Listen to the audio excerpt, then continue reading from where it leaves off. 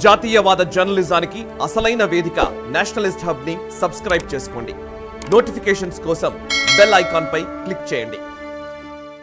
మైతి ఏ, కమ్యూనిటీకి చెందినటువంటి వ్యక్తి ఇక్కడే హైదరాబాద్లో ఉద్యోగం చేసుకుంటూ ఉంటాడు. ఆయన చెప్తున్న మాటలు ఆ, ఈ ఎనిమిది తొమ్మిది సంవత్సరాల్లో జరిగినంత అభివృద్ధి అసలు వాళ్ళ జీవితంలో మేము ఇంత ఇంత ఊహిస్తామని అనుకోలేదు. ఇంత కలలో కూడా ఊహించనంత అభివృద్ధి జరుగుతోందని ఆయన చెప్తున్నమాట అండ్ కాకపోతే ఒక విషయంలో ఏంటంటే మైతీ కమ్యూనిటీ వాళ్ళు రిజర్వేషన్లు ఇవ్వాలని చెప్పినప్పుడు కుకీల నుంచి ఒక దాడులు జరుగుతాయన్న ఊహ దాన్ని కరెక్ట్గా ఊహించలేకపోవడమా లేకపోతే ఇంటెలిజెన్స్ ఫెయిల్యూరా whatever it may be ఇంత తీవ్ర స్థాయిలో ఘర్షణలు జరుగుతాయని ఎందుకు ఊహించలేకపోయిందని ఒక ప్రశ్న మాత్రం వాళ్ళు కూడా అడుగుతున్నారు. అంటే దీంట్లో ఒక చిన్న కారణం ఉంది మనకు. అంటే కొన్ని విషయాలు మనం భౌగోళికంగా చారిత్రకంగా పరిశీలిస్తేనే కానీ మనకు అది అర్థం కావు.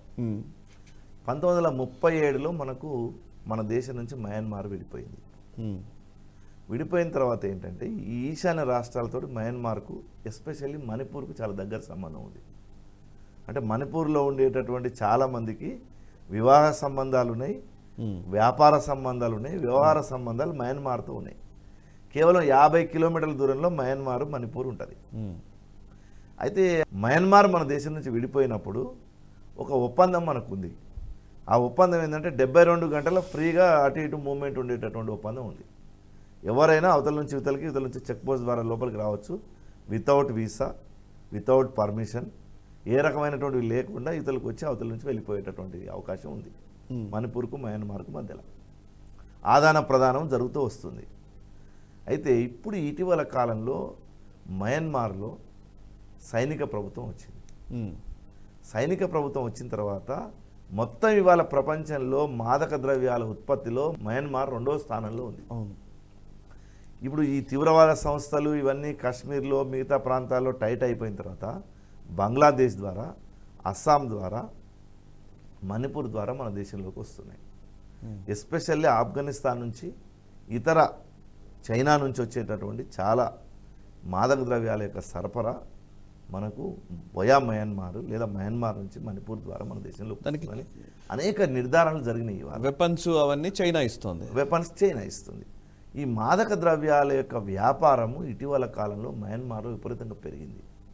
మీరు చూడొచ్చు ఇవాళ మొత్తం ఇండియాలో ఈవెన్ దో తెలంగాణలో కూడా మన ఉడతా పంజాబ్ లాగా మొత్తం దేశం అంతా డ్రగ్స్ ఇవాళ యువత బానిసలు అయ్యేటటువంటి సిచ్యువేషన్ మనం చూస్తూ ఉన్నాం. ఎన్నో కేసులు వాళ్ళు చూస్తూ ఉన్నాం. ఎన్నో ఎయిర్పోర్ట్లలో పట్టుకుంటున్నారు. తర్వాత ఓడరేవులలో పోర్ట్లలో పట్టుకుంటున్నారు పోర్ట్లలో పట్టుకుంటూ ఉన్నారు. ఇది రోజు ఎక్కడో గంజాయి దొరికింది. మీరు ఈ మొత్తం ఇప్పుడు ఏ దేశంలో ఉండే ఏ పోలీస్ స్టేషన్కి వెళ్ళండి మీరు. ఒక స్ట్రాంగ్ రూమ్ నిండా ఈ గంజా బంగ్ తర్వాత ఈ రకం నల్ల మందు కుకైన్. కుకాయి ఇట్లాంటి కుకాయను ఎల్డిఎస్ ఇట్లాంటివన్నీ ఉంటున్నాయి. సీజ్ చేసిన ఐటమ్స్. ఎందుకు ఉంటున్నాయి? ఇవి ఎటు నుంచి వస్తున్నాయి ఇవి? మన దేశంలో ఎంత పండించినా చాలా చాలా తక్కువ కదా. మరి ఆ దేశం నుంచి బయట నుంచి వస్తున్నారు రెండు వేల పదిహేడులో భారత ప్రభుత్వం మణిపూర్ ప్రభుత్వం కలిసి ఏం చేసినాయంటే ఈ గిరిజనులు అంటే ఎస్పెషల్లీ కుకీలు కొండ ప్రాంతాల్లో ఉండే వాళ్ళ దగ్గర ఇవి- ఎక్కువగా ఉత్పత్తులు జరిగేవి. రెండు వేల పదిహేడు తర్వాత దాని మీద ఉక్కుపాదం ప్రభుత్వం మోపింది. రాష్ట్ర ప్రభుత్వం కానీ కేంద్ర ప్రభుత్వం ఒక తప్పు అయితే చేసింది ఈ విషయంలో వాళ్ళకు ఎవరైతే ఆ ఆ వ్యాపారం వ్యవహారం మానేసిండ్రో వాళ్ళందరికీ ప్రత్యామ్నాయంగా ఒక ఉపాధి చూపించాల్సింది. మ్మ్. వాళ్ళు నడిపించే వ్యవస్థలు ఉంటాయి కదా. మన దగ్గర రియల్ ఎస్టేట్ వాళ్ళు కార్పొరేట్ సంస్థలు ఉన్నట్టుగానే వాళ్ళు నడిపించేటటువంటి మాఫియా ఉంటుంది కదా. ఆ మాఫియా ఏం చేసిందంటే ఈ అల్లర్లని ఈ అల్లర్లను మొత్తం బాగా ఎక్స్పోజ్ చేసింది. వాళ్ళకి డబ్బు పెద్ద ఎత్తున డబ్బు వస్తుంది కదా. చాలా తక్కువ శ్రమతోటి ఎక్కువ డబ్బు సంపాదించే ఉపాయం దాంట్లో ఉంది కదా మాదక ద్రవ్యాల్లో. కాబట్టి ఆ వర్గ దీన్ని ఆఖరికి ఏ రకంగా తీసుకొని వెళ్ళిందంటే దేశంలో ఈ వర్గాలు ఎట్లా ఉన్నాయి ఎంత దుర్మార్గంగా ఉన్నారంటే ఇది క్రైస్తవ కుకీల హిందూ మైతీలకు మధ్య జరుగుతున్న ఘర్షణలాగా ప్రపంచ దేశాలన్నీ దీని పట్ల చాలా ఆందోళన ఉన్నట్టుగా ఇంకా ముఖ్యంగా మనకు ఒకటి ప్రపంచ మానవ హక్కుల సంస్థ ఒకటి ఉంటుంది కదా అది. భారతదేశంలో ఇలా చీమ చిటుకు అన్నా కానీ వాళ్ళు చాలా బాధపడిపోతారు వాళ్ళు. అమెరికాలో బ- రోడ్ల మీద కాల్పులు జరిపినా వాళ్ళు మాట్లాడారు.